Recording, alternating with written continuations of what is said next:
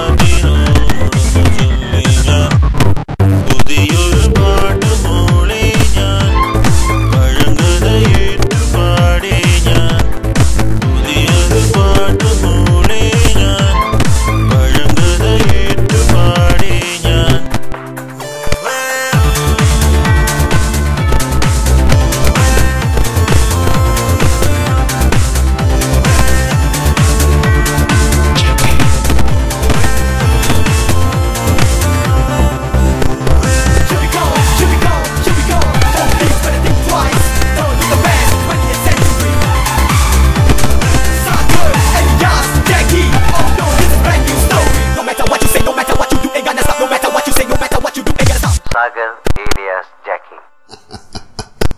See you in